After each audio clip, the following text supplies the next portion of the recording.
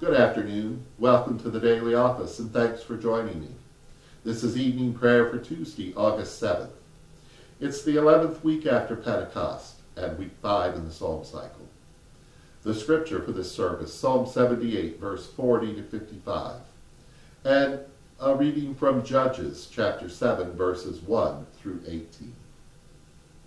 Now join me in singing the second verse of uh, the paraphrase of Psalm 100 by Isaac Watts.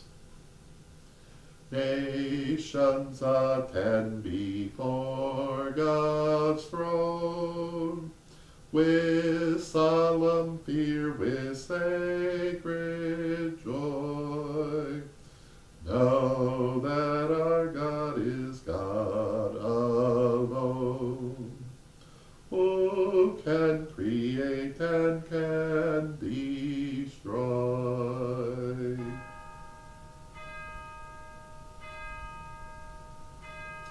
O God, come to my assistance.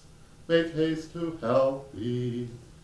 Glory to you, source of all being, eternal Word and Holy Spirit as in the beginning, so now and forever. Amen. Alleluia. How often they provoked you in the wilderness and grieved you in the desert. Alleluia. Psalm 78. Please recite it with me. Alleluia. How often they provoked you in the wilderness and grieved you in the desert. They turned back and tempted you and provoked the Holy One of Israel.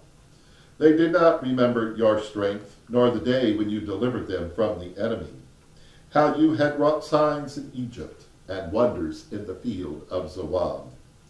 You turned their rivers into blood, that they could not drink. You set all sorts of flies among them, which devoured them, and frogs, which destroyed them. You also gave their crops to the caterpillar, and their labor to the locust, you destroyed their vines with hail, and their sycamores with frost. You gave up their cattle to the hail, and their flocks to hot thunderbolts. You cast on them the fierceness of your anger, wrath, indignation, and trouble, by sending a troop of evil angels among them. You gave free course to your anger, and did not spare their lives from death, but gave them over to the pestilence. You struck down all the firstborn in Egypt, but the, fine, the finest flour in the tabernacles of Ham, but made your own people go forth like sheep, and guided them in the wilderness like a flock. And you led them in safety, so that they were not afraid, but the sea overwhelmed their enemies. And you brought them to the border of your holy land, even to this mountain, which your right hand had purchased. And you cast out the heathen before them, and divided the land for their inheritance and made the tribes of Israel to dwell in their tents. Glory to you, source of all being, eternal Word and Holy Spirit, as in the beginning, so now and forever. Amen. Alleluia. Alleluia. How often they provoked you in the wilderness and grieved you in the desert. Alleluia.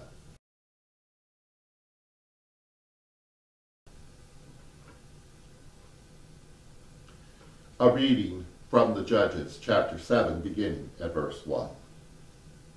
Then Jeru, Babaal, that is Gideon, and all of the troops that were with him rose early and encamped beside the spring of Harod, and the camp of Midian was north of them, below the hill of Moreh in the valley. And the Lord said to Gideon, The troops with you are too many for me to give the Midianites into their hand. Israel would only take the credit away from me, saying, My own hand has delivered me. Now, therefore, proclaim this in the hearing of the troops. Whoever is fearful and trembling, let him return home. Thus Gideon sifted them out. Twenty-two thousand returned, and ten thousand remained. Then Yahweh said to Gideon, The troops are still too many. Take them down to the water, and I will sift them out for you there.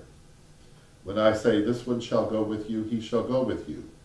And when I say, This one shall not go with you, he shall not go. And so he brought the troops down to the water, and Yahweh said to Gideon, All those who lap the water with their tongues, as a dog laps, you shall put to one side, And all those who kneel down to drink, putting their hands to their mouths, you shall put to the other side. The number of those that lapped was three hundred, but all the rest of the troops knelt down to drink water. And then Yahweh said to Gideon, With the three hundred that lapped I will deliver you, and give the Midianites into your hand. Let all the others go to their homes. And so he took the jars of the troops from their hands and their trumpets, and he sent all the rest of Israel back to their own tents, but retained the three hundred. The camp of Midian was below him in the valley. That same night, Yahweh said to him, Get up, attack the camp, for I have given it into your hand. But if you fear to attack, go down to the camp with your servant Purah, and you shall hear what they say. And afterward your hands shall be strengthened to attack the camp. Then he went down with his servant Purah to the outposts of the armed men that were in the camp. The Midianites and the Amalekites and all the people of the east lay along the valley as thick as locusts, and their camels were without number, countless as the sand on the seashore. When Gideon arrived, there was a man telling a dream to his comrade, and he said, I had a dream, and in it a cake of barley bread tumbled into the camp of Midian, and came to the tent, and struck it so that it fell. It turned upside down, and the tent collapsed. And his comrade answered, This is no other than the sword of Gideon, son of Joash, a man of Israel. Into his hand God has given Midian and all the army.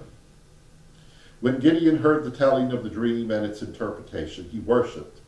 And he returned to the camp of Israel, and he said, Get up, for Yahweh has given the army of Midian into your hand. After he divided the three hundred men into three companies, he put trumpets into the hands of all of them, and empty jars, with torches inside the jars. He said to them, Look at me and do the same. When I come to the outskirts of the camp, do as I do. And when I blow the trumpet, I and all who are with me, then you also blow the trumpets around the whole camp, and shout for Yahweh and for Gideon. Here ends the lesson.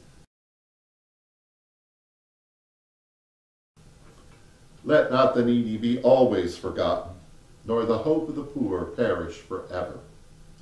Create in us clean hearts, O God, and renew a right spirit within us, and for all of your intentions.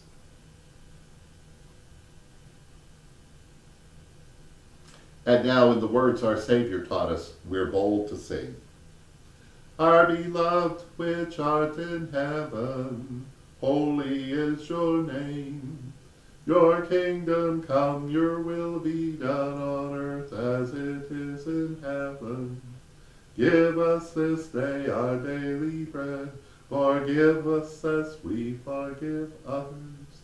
Lead us not into temptation, but deliver us from evil. For the kingdom, the power, and the glory are yours now and forever.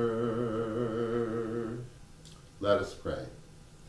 Guide us to your eternal dominion, O Shepherd of Israel, for only in you can we live in safety.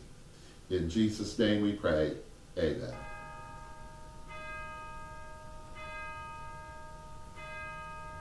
We trust in the mercy of God forever. And may the God of hope fill us with all joy and peace in believing through the power of the Holy Spirit. Amen. Alleluia.